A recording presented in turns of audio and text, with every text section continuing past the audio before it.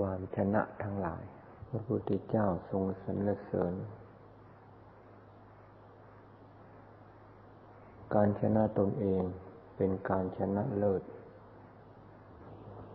ส่วนมาก คนทั่วๆไปพอใจในการชนะคนอื่น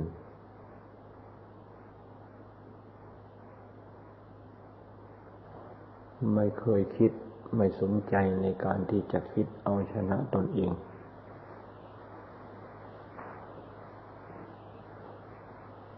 การคิดที่จะเอาชนะคนอื่นนั้น เป็นการแพ้ตนเองแล้ว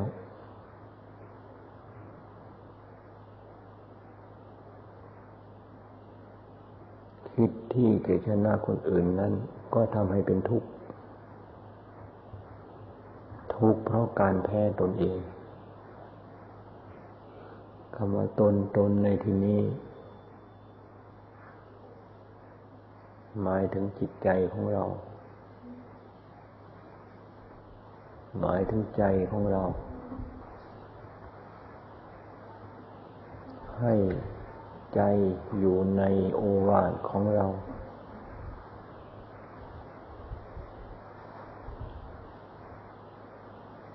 เราอบรมสั่งสอนจิตใจของเราได้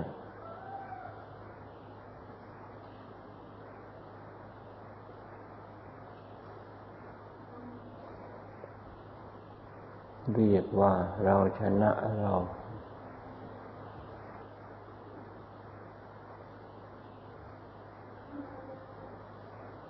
ในเมื่อเราชนะเราได้แล้ว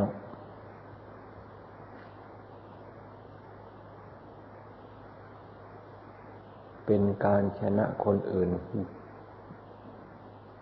โดยไม่มีความต้องการ ไม่มีความปรารถนาที่จะไปชนะใคร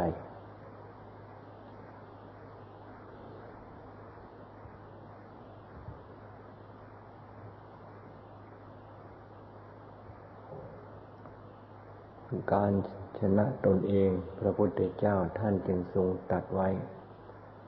เป็นการชนะเลิศ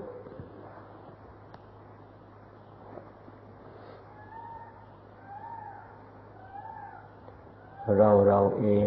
มีอะไรที่เราจะต้องต่อสู้ มีอะไรต่ออะไรที่เราจะต้องเอาชนะเขา และชอบมีอยู่เสมอเสมอ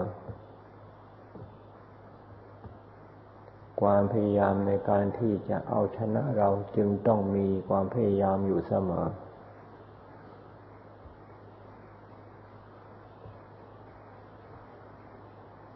ในเมื่อเราชนะเราได้แล้ว เพราะความพยายามของเรามีพอ ด้วยเหตุด้วยผลด้วยสติปัญญา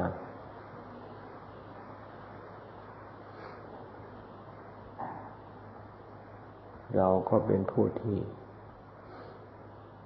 ชนะเราเองได้ ชนะเราเองได้อยู่เป็นสุข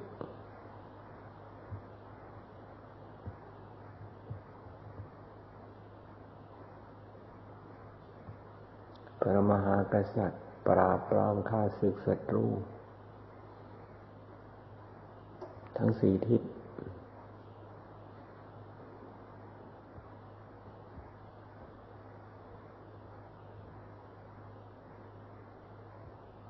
ก็ยังมีความหวาดระแวงวิตกกังวล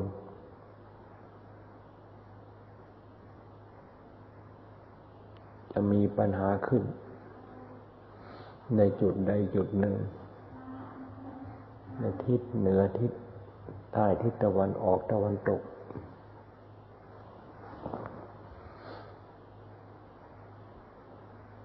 ถึงใจปราบปรามข้าศึกชนะได้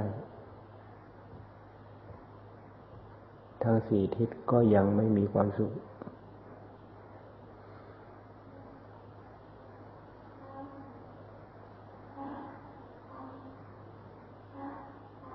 พระพุทธเจ้าท่านจึง ไม่สนเสริญการชนะข้าศึกการชนะบุคคลอื่นสนเสริญการชนะตนชนะเรา ชนะความอยาก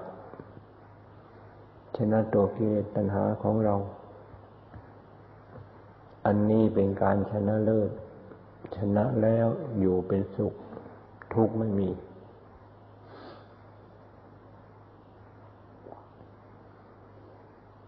การปฏิบัติธรรมก็เพื่อ เข้าถึงชัยชนะ เข้าถึงความชนะ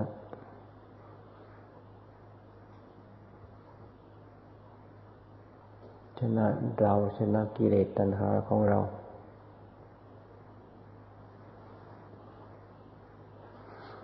การต่อสู้ต้องมีกลยุทธ์ต้องมีวิธีการ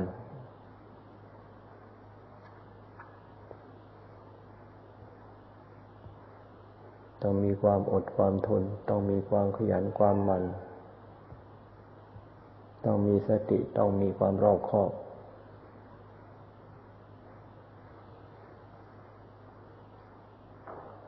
ไม่มีสติไม่มีปัญญาไม่มีความรอบคอบ ยากในการที่จะเอาชนะเราเองหรือชนะตนใด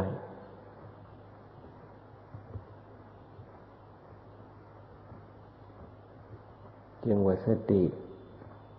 มีความจำเป็น มากในการที่จะชนะเรา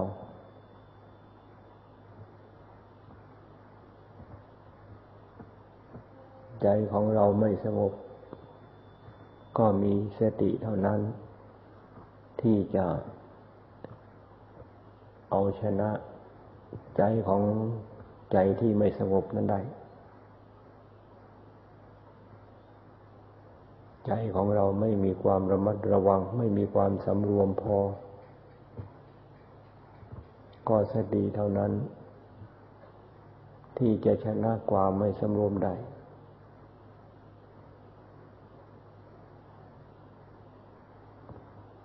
ใจของเราไม่เป็นสมาธิไม่มั่นคงไม่แน่วแน่ เลื่อนลอย โลเล ก็มีแต่สติเท่านั้น ที่จะชนะความเลื่อนลอยโลเล ไม่มั่นคงนั้นได้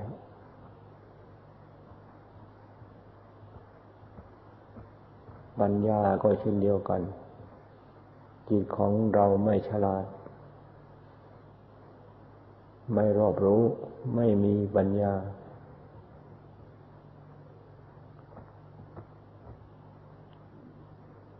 ก็มีแต่สติเท่านั้น ที่จะทำให้ใจของเรามีความรอบรู้ดุดรู้ทัน รอบรู้รู้ทัน ความคิดความอ่าน รู้ทัน ตัวกิเลสตัณหาอยู่ตลอดเวลา จึงว่าสติธรรม มีความจำเป็นที่จะต้องทำให้เกิดให้มี ประจำอยู่ในจิตในใจของเราเสมอถ้าหากว่าสติธรรมขาดได้จากจิตจากใจของเรา ใจของเรานี่จะต้อง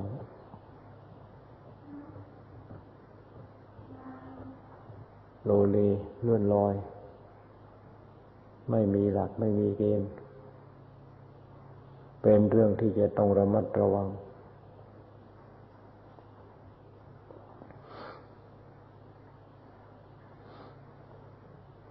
คำสอนของพระพุทธเจ้าสอนเพื่อให้ชนะเรา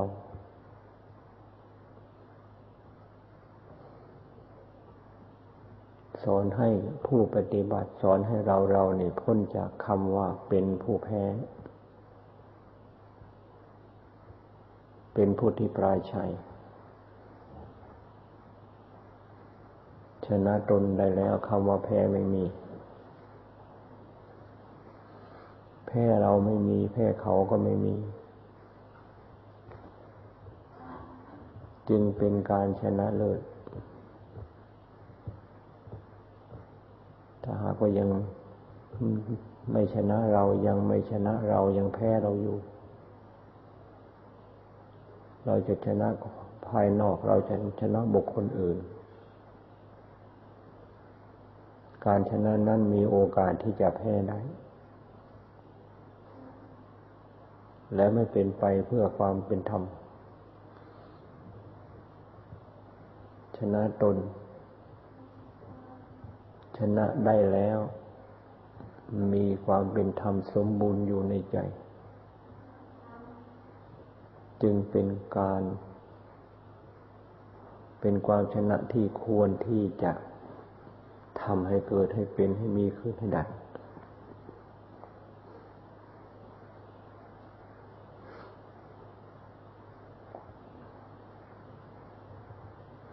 ข้าศึกที่จะต่อสู้ ข้าศึกที่เราจะต้องเอาชนะเขามีอยู่เสมอ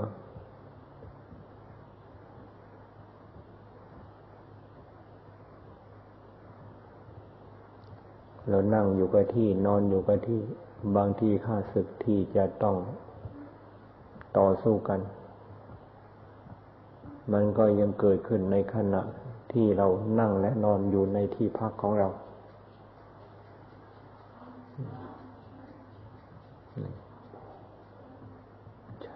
เราอยู่ในบ้านในช่องในที่พักของเรามันก็ยังจะอดที่จะเกิดขึ้นไม่ได้ จึงว่าการต่อสู้กับข้าศึกคือเรา มีความจำเป็นที่จะต้อง เหมือนกับเข้าสนามรบประมาทไม่ได้ และไม่มีเวลาที่จะพักรบด้วย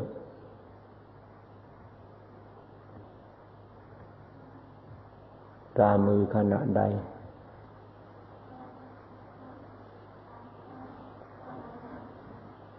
จะถูกจะต้องถูกฆ่าศึกฆ่าศึกก็คือเรา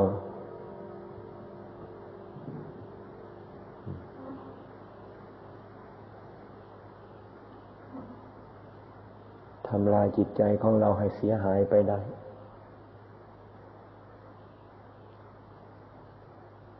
ข้าศึกก็คือเราทำลายเรา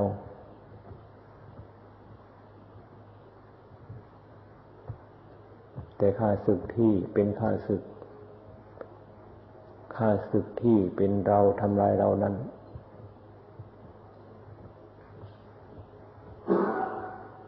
เขาไม่เคยบอกว่าเขาเป็นข้าศึก เขาบอกว่าเป็นเราเป็นเราไปเสียทั้งหมด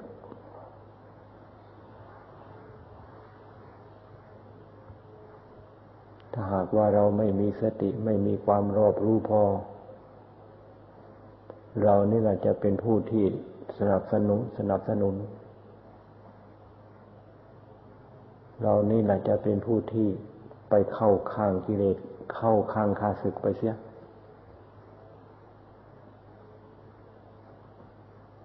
ไปเข้าข้างคาศึกมาทำลายเรามาประหารประหารจิตใจของเรา ให้เสียหาย ในเมื่อเรา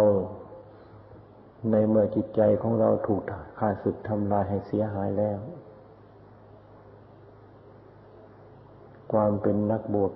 ความเป็นผู้ปฏิบัติธรรมก็เสียหายไปด้วย ในขณะที่ จิตใจของเราถูกข้าศึกตัวกิเลสทำลายให้เสียหายนั้นจึงว่าเสียหายไปหมดเรียกว่าล้มละลาย ไม่มีอะไรเหลือ ไม่มีอะไรตกค้าง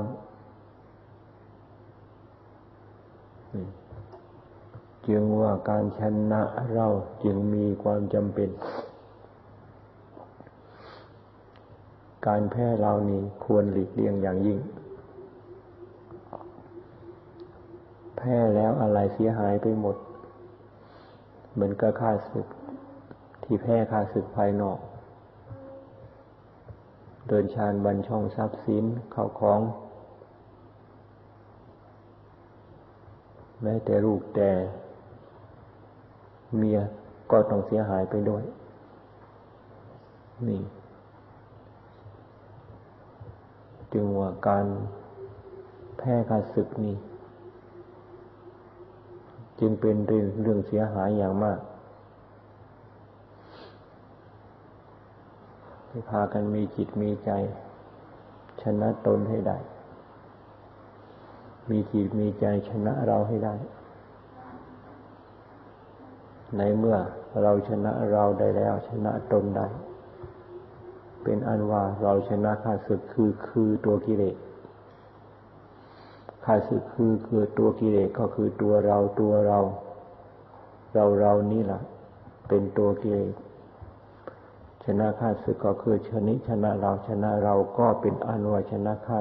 ข้าศึกคือกิเลส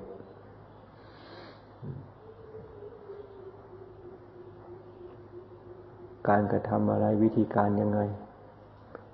ที่จะชนะเราได้ รีบ เอามาใช้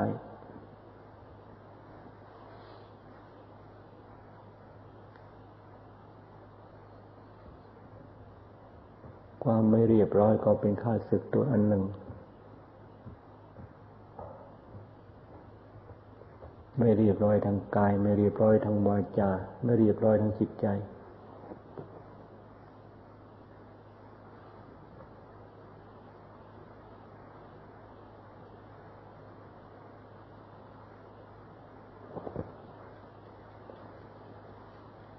ความไม่เรียบร้อยได้ ก็ขึ้นอยู่กับสติความระมัดระวัง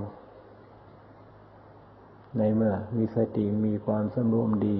ความเรียบร้อยทางกายวาจาและใจ ก็เริ่มก่อตัวขึ้นมา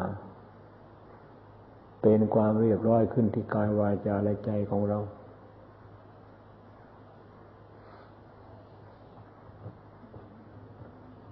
จิตใจเลื่อนลอยไม่ตั้งมั่น โลเลเหลวไหลมืดมนนทการ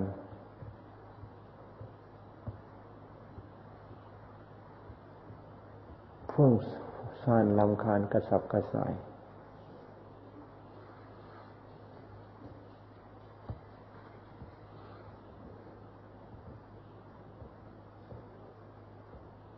ก็ต้องแก้โดยความสำรวมจิตให้ยิ่ง แก้โดยการกระทำภายในจิตให้ยิ่ง มีการกระทำในจิต มีการสำรวมในจิต จิตที่เลวโลเลเลวไหล กลายเป็นจิตที่มีสติขึ้นมา จิตที่เลื่อนลอยไม่ตั้งมั่น ก็กลายเป็นจิตที่ตั้งมั่นเป็นสมาธิขึ้นมา ขึ้นอยู่กับความพยายามทั้งนั้น ความพยายามนี้เราเท่านั้นจะเป็นผู้ที่พยายามเอาเอง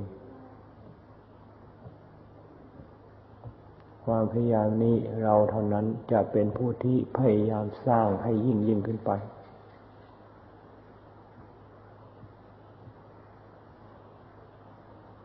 เรามีความพยายามอยู่แต่ความพยายามที่จะสร้างให้ความพยายามของเรายิ่งขึ้นไม่มี ความพยายามนั้นนับวันที่จะหมดไป ความพยายามที่มีอยู่เก่ามีอยู่แล้วนั้น มีแต่ที่จะหมด ถ้าหากว่าความพยายามที่จะให้เพิ่มความพยายามที่จะให้มีให้ยิ่งไม่มี จึงต้องเป็นผู้ที่มีความพยายามให้ยิ่งอยู่เสมอ จึงเรียกว่า เป็นนักรบจึงเรียกว่าเป็นผู้ไม่ประมาท ในการที่จะต่อสู้กับตนเอง และสามารถเอาชนะตนเองได้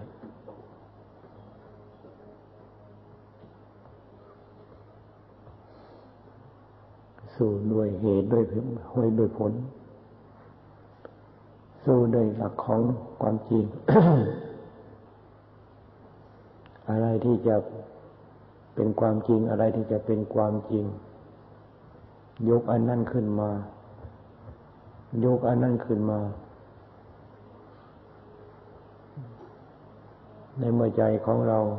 มั่นคงอยู่ในหลักความจริง ในเมื่อใจของเรา เห็นชัดตามหลักความจริง เรื่องของข้าศึก ไม่สามารถที่จะมารบกวนเราได้ เรื่องของขังกิเลสไม่เป็นอันตรายแก่เรา กิเลสมันเอาแต่ของปลอม เอาแต่ของปลอม มาบอกว่าเป็นของจริง มาบอกว่าเป็นของแท้ แต่ของแท้ของจริงของเกศล้นแล้ว แต่เป็นของปลอมทั้งนั้นถ้าว่าเรายังไม่มีสติไม่มีปัญญาพอ เกศมันเสนอของปลอมเสนอของปลอม เราจะต้องยอมรับ เราจะต้องรับทันทีรับทันที เพราะเรายังไม่รู้จักของแท้ เราจะไปรู้จักของปลอมได้ยังไง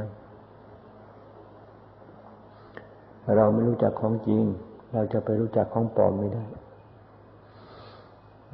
จึงว่าคำว่าสติคำว่าปัญญา เป็นอุปกรณ์เป็นอาวุธเป็นเครื่องมือ ที่จะเดินทางเข้าหาความ เข้าหาชัยชนะ เข้าหาความชนะข้าศึกได้ด้วยประการทั้งปวงขาดสติขาดปัญญาไม่ได้ เป็นผู้ที่หัดสติ หัดสติศีลก็สมบูรณ์ ขึ้นมาเพราะสติสมบูรณ์ หัดสติ สมาธิกำลังมั่น เป็นสมาธิที่สมบูรณ์ขึ้นมา ก็เพราะสติสมบูรณ์เป็นเหตุ ปัญญาก็เช่นเดียวกัน ถ้าไม่มีสติแล้วปัญญาล้มเหลว หัวใจล้มเหลว มีแต่ตายก็ตายอย่างเดียว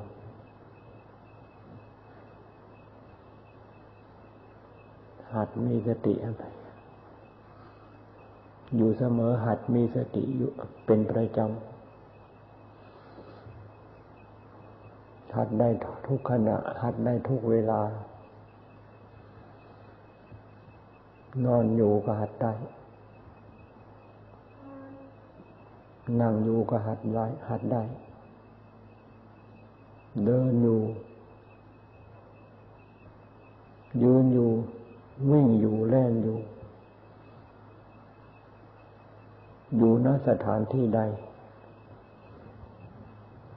หาสติได้ทั้งนั้น มีความจำเป็นจะต้องฝึกสติหัดสติ และหัดได้ทุกสถานที่หัดสติจะหัดเฉพาะเวลานั่งสมาธิหัดเฉพาะเวลาเดินจงกรม เวลาไม่นั่งสมาธิเวลาไม่เดินจงกรมไม่สนใจในการที่จะทำใจของเราให้มีสติ มันไม่ทันกับเหตุการณ์ข้าศึกมันเข้าเมือง มันเข้ามาในเมืองแล้ว เราก็จะปล่อยให้เขา เอาพวกนี้ซะก่อน เดี๋ยวนี้มันค่ำแล้วมันมืดแล้ว ไม่ได้ ต้องเตรียมรับต้องเตรียมรับต้องเตรียมรับอยู่ทุกขณะเพราะคำว่าการศึกนี่เขาจะเข้ามาเมื่อไรเขาไม่บอก ตัวข้าศึกตัวกิเลสของเราก็เหมือนกันเขาจะมาเหยียบย่ำทำลายจิตใจของเราขนาดใดเขาไม่ได้บอก จึงต้องเตรียมสติเตรียมปัญญาของเราให้พร้อมอยู่เสมอเรียกว่าเตรียมอาวุธ เตรียมสติเตรียมสมาธิเตรียมปัญญา เตรียมอาวุธของเราให้พร้อมอยู่เสมอข้าศึกจะเข้ามาเป็นอันตรายกับเราไม่ได้ เกิดขึ้น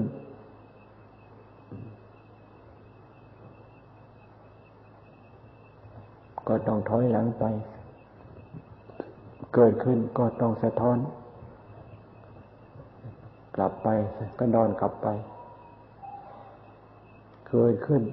ก็ต้องสลายตัวไป เกิดขึ้นก็ต้องสลายตัวไป เหมือนกับฟองน้ำเหมือนกับคลื่น จะขึ้นเล็กขึ้นใหญ่ขนาดไหนเพียงไรก็ช่างในเมื่อมากระทบฝั่งที่มีความแน่นหนาคลื่นนั้นก็สลายเป็นน้ำไป สลายความความเป็นคลื่นนั้นก็สลายตัวไปแต่หากว่าฟังไม่มีกำลัง ขึ้นมาก็มีแต่ซอกขึ้นมาก็มีแต่พัง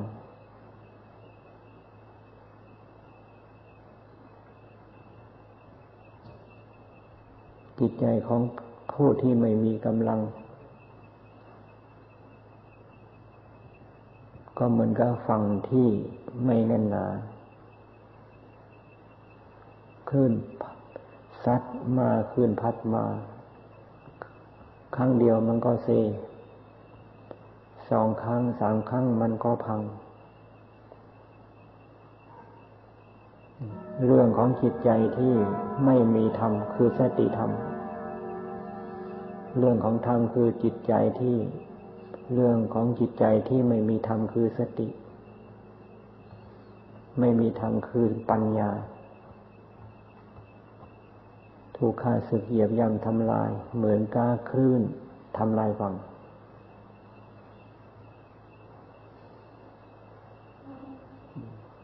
คลื่นมาทุกขณะ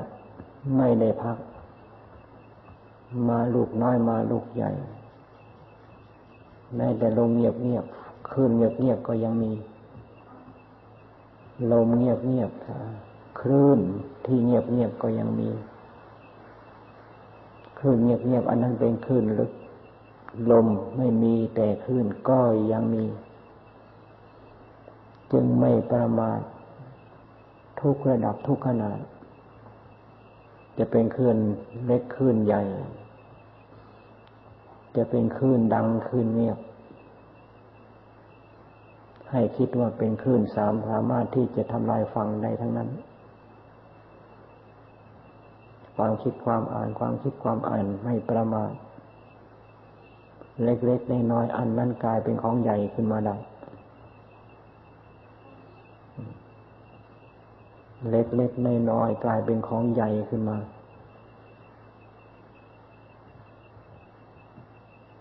ไฟแม้แต่เพียงน้อยเดียว ไม่บ้านไม่ช่อง ไม่ป่าเป็นตารางกิโลตารางกิโลหลาย พันหลายหมื่น เกิดจากไฟเล็กๆเท่านั้น จึงต้องเป็นผู้ที่ละเอียดทีทน ดูแลตรวจตราอยู่เสมอไฟที่มันจะเกิด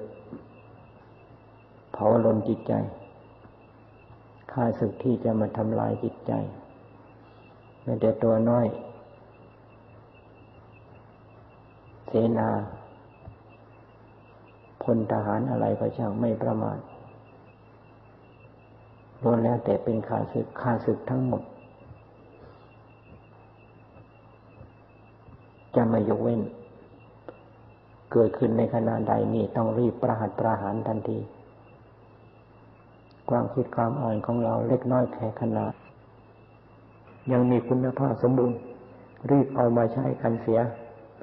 ด้วยสติธรรมด้วยวิริยะธรรม ด้วยปัญญาธรรม สติธรรม วิริยะธรรมขันติธรรม ปัญญาธรรมนี่ให้เอามาใช้ให้เต็มที่ ผลของ ผลอันเป็นเกิดของที่ผลอันเกินผล อันเกิดจากอาวุธที่มีประสิทธิภาพนั้น พระพุทธเจ้าไม่ได้แบ่งปัน ผลประโยชน์ประโยชน์อันเกิดจากอาวุธที่พระพุทธเจ้ามอบให้นั้น เราเอามาใช้เป็นประโยชน์แก่เรา ร้อยทั้งร้อยนี่สามารถที่จะทำให้เราพ้นจากกองฟืนกองไฟกองกิเลสตัณหา ได้อย่างที่เรียกว่าเหมือนกับพระพุทธเจ้าพระสาวกเจ้าพ้นจากกองฟืนกองควันกองฟืนกองไฟได้เช่นกัน ไฟอันนี้เป็นไฟอันตราย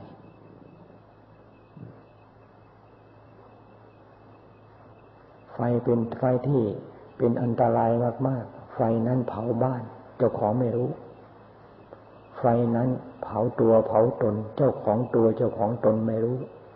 ไฟตัวนี้ไฟอันตรายไอ้ไฟที่เดินใกล้เข้าไปใกล้มันร้อน ไอ้ไฟที่ถูกนิดหน่อยมันก็ร้อน ไฟอันนั้นเป็นอันตรายน้อย อย่างนั้นมันก็เป็นบาดเป็นแผลนิดนิดหน่อยนี่รักษาทาอยู่ทายาเข้าไป มันก็หาย ไอ้ไฟที่เผาแล้วเจ้าของพอใจ เพราะไม่ไม่รู้ว่าฟืนว่าไม่รู้ว่าถูกไฟเผา ไฟอันนี้เผาให้ตาย แล้วก็ตายกันทั้งโลก แล้วก็ตายกันทั้งโลก เผาในในโลกอันนี้ที่เรียกว่าไม่ถูกไฟเผาให้ตายไม่มี แล้วเผาให้ตายแล้วยังไม่ยังไม่พอ ยังตามเผาอีกต่อไป จะไปเกิดตรงไหน จะไปตายตรงไหน จะไปเกิดตรงไหน จะไปตายตรงไหน ยังตามเผาตลอดการไป ไม่เลิกไม่ไม่เลือก ทุกระดับ ระดับสูงระดับต่ำในระดับไหนก็ช่าง ตามเผาให้ตายตลอดการไปทีเดียว พระพุทธเจ้าท่านจึงทรงเกิดสลดสังเวชสลดสังเวชมากมาก ในการเกิดการตายในการเกิดการตาย ที่ถูกกิเลสตัณหามันตามเผา ไม่ยกเว้นสักภพสักชาตินี่แล้วก็ไปแล้วก็นี่ประกาศได้อย่างองค์อาจกล้าหาญเจ้ากิเลสตัณหาที่ตามเป็นอันตราย ตามทำลายตามย่ำยีนี่ ตามเผาจิตเผาใจของเราเจ้าไม่มีโอกาสที่จะทำลายเรา ย่ำยีเราอีกต่อไปแล้ว เราเป็นผู้ที่พ้นจากอำนาจของท่านด้วยประการทั้งปวงแล้ว นี่เจ้าท่านไม่มีโอกาสที่จะเป็นอันตรายแก่ข้าพเจ้าอีกต่อไปแล้ว เพราะข้าพเจ้าทำลายท่านจนกระทั่งไม่เหลือซากเจ้าจะเป็นอาคาศึกเจ้าเป็นอันตรายเจ้าจะเป็นอันตรายแก่เราได้อย่างไรนี่พระพุทธเจ้าทรงประกาศจากองค์อาจกล้าหาญหลังจากตัวข้าศึก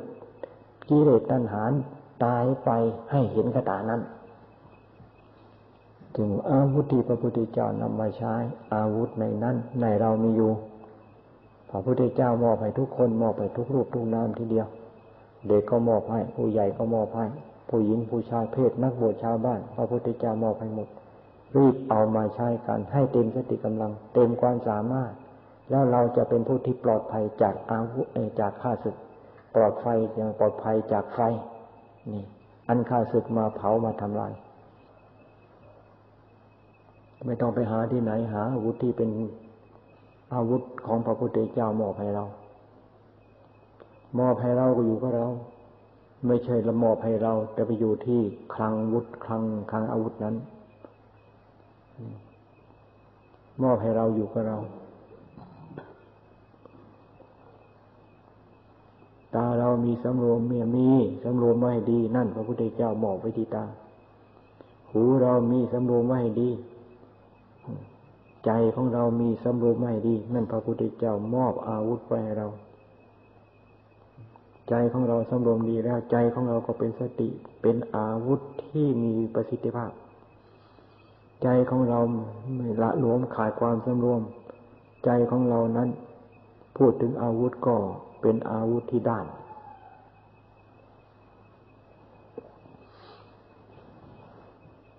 เป็นอาวุธที่ด้าน เกิดจากจิตใจที่ดื้อด้านบอกไม่ได้สอนไม่ฟัง จิตใจที่ดื้อด้าน เหมือนกับอาวุธด้านบอกไม่ได้ฟอนสอนไม่ฟังทุวจัสโตทุวสัทุวจัสตา ใจว่ายากสอนยาก ก็เนื่องจากว่าไม่มีความไม่มีความพยายามที่จะฝึกจะสอน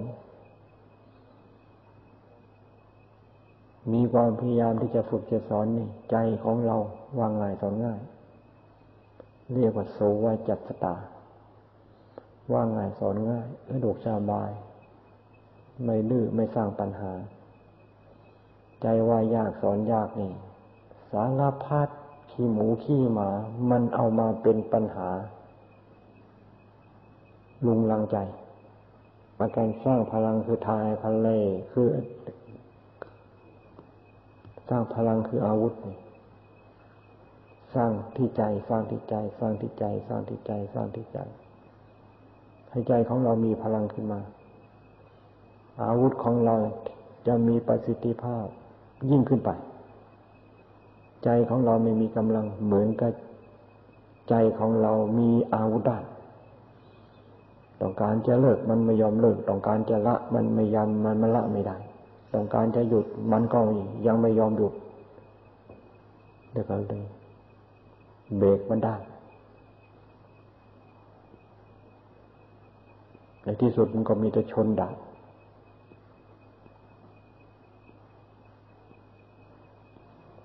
พระพุทธเจ้าไม่มีบังคับใคร ไม่มีบังคับใคร เป็นธรรมาธิปไตยเสมอภาค อาวุธมอบให้หมด มอบให้ทุกคนทุกราย พระพุทธเจ้าเป็นศาสดาแก่โลก มอบอาวุธที่เหมาะในการที่จะปราบข้าศึกมอบไปทุกคน ใครจะใช้ไม่ใช่พระพุทธเจ้า ปล่อยวางอุเอุเบคา ใครจะใช้เป็นประโยชน์แก่ผู้ใช้ ใครไม่ใช่ไม่ได้ประโยชน์ อันเกิดจากอาวุธที่มอบให้นั้น พระพุทธเจ้าเป็นผู้ที่ปล่อยวางอุเบคาตลอดกาลไม่มีสักขนาดไหนที่ใจของพระพุทธเจ้าจะขาดจากอุเบคาธรรม ไม่มีสักขณะไหนที่ใจของพระพุทธเจ้าขาดจากเมตตาธรรม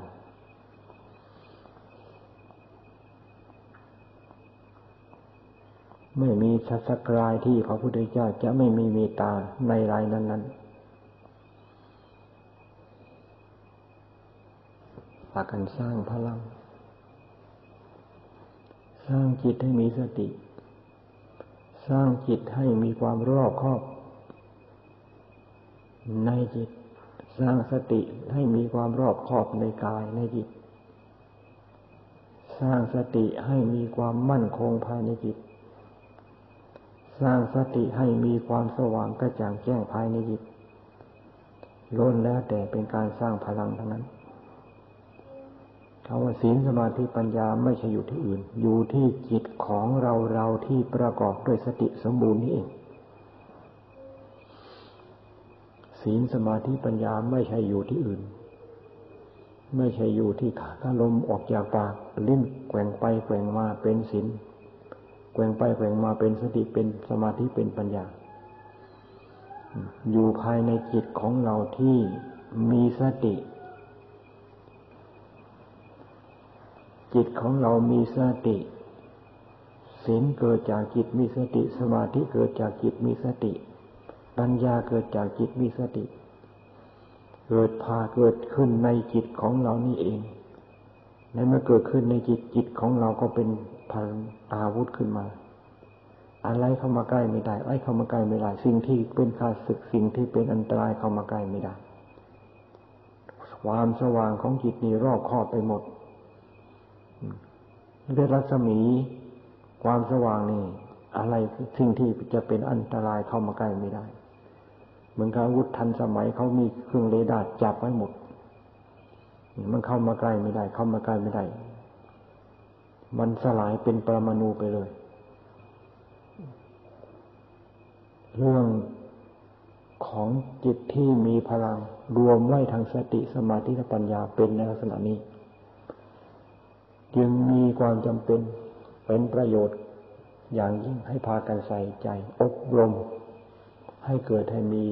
ให้สมบูรณ์ภายในจิตในใจ จะเป็นผู้ที่ปลอดภัยจากข้าศึกกองฟืนกองไฟคือกิเลสทั้งหลาย ทำไมอย่างนั้นจะต้องถูกเข้าเผาตลอดการไปไม่สิ้นสุด ขี้หมูขี้หมามันก็ยังเอามาเป็นกองฟืนกองไฟเผา